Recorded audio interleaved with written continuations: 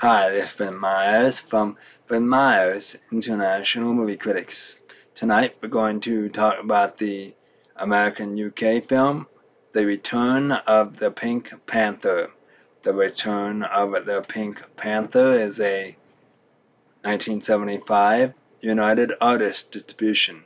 Ben Meyers rating is 4.2 out of 5 stars. This action film is about the Pink Panther diamond is taken and Clouseau is sent to retrieve it. You buy the ticket? Yes, buy that ticket. This is a great film for fans of the Pink Panther. This has been Meyers. Have a great entertainment weekend.